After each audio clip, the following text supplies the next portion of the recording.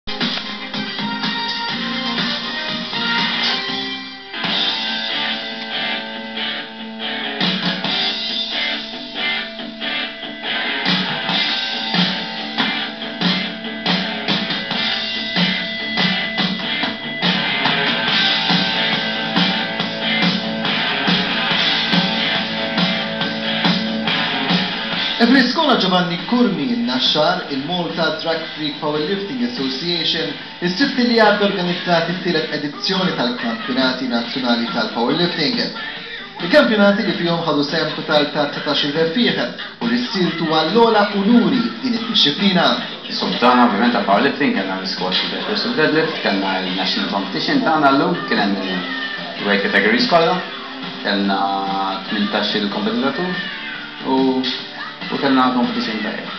Iva qed għedtkelkom tmintax-il kompetitur, paragunat forsi mas-snin imgħoddija ma' kompetizzjonijiet oħra, kif rajt il-parteċipazzjoni din is-sena?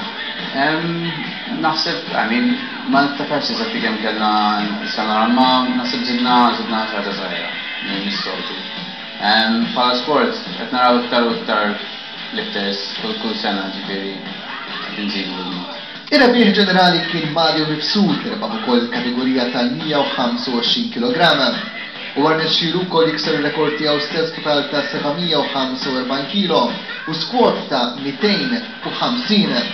Fit-tieni post fil-klassifika ġenerali ġie Matthew Muscati-Blot, segwit minn Christian Mintoff fit-tielet pożizzjoni. Mela l-kompetizzjoni tal-lum kienet waħda pożittiva ħafna. Hemm żewġ personal bests għalija, personal best fl-iskwat u rekord nazzjonali ta' Malta ta' 250 kilo u personal best fit-total ta' 750 kilo.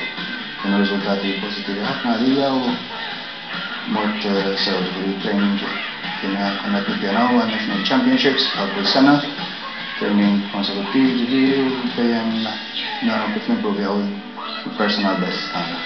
Issa li ġie arkivjat dan il-kampjonat nazzjonali, l-impenji tiegħek issa li jmissek?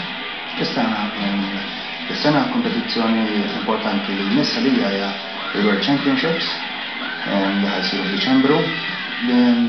Għandi l-speċjal biex niddefendi t-titlu tiegħi li kont irbaħt is-sena li għaddiet mid-Dean Keynes. Rigward ir-rebbieħa fil-kategoriji differenti r-riżultati kienu dawn, Marvin Cilia rebaħ il-kategorija tal-110 kilogramm, Matthew Muscati-Blot rebaħ dik tal-100 kilogramm, Christian Mintoff rebaħ il-kategorija tad-90 kilogramm, Charles De Giorgio rebaħ il-kategorija tat-82 kilogramm u nofs, Sean Galea kien ir-rebbieħ fil-75 kilogramm, waqt li Daniel Debono rebaħ il-kategorija ta' 67 kilogramm u nofs. Min-naħa tagħha Marielle Incorvaia rebħet il-kategorija femminili. Rigward rekords miksura f'dan il-kampjonati, Matthew Muscati Blok kiser ir-rekords kollha fil-kategorija tal-110 kilogramm, rekords li kienu tiegħu stess. Josef Spiteri kiser ir-rekord tal-bench press fid-90 kilogramm b'147.5. Il-Kristjan Mintoff waqqaf rekord ġdid fl-isquats fil-kategorija 90 kilograma b'207 kilogrammi u nofs.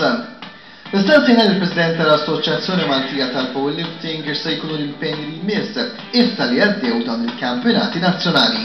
Bħal-lum huwa forsi l-iktar waħda importanti għal għall-ifters tagħna, imma huwa l-uniku wieħed li l-ifter jiġi għalih stess soltu jkun anke b'team competitions, imma National Championships huwa sort of single, single, m'hemmx teams involuti.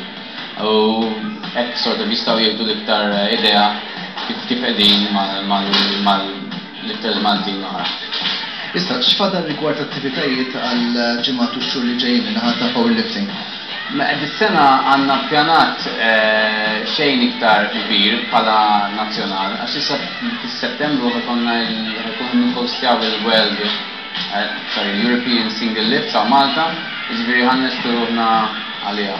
Forsi nagħmlu xi ħaġa żgħira ma bħala bħala competitions organizzati min-naħa tagħna.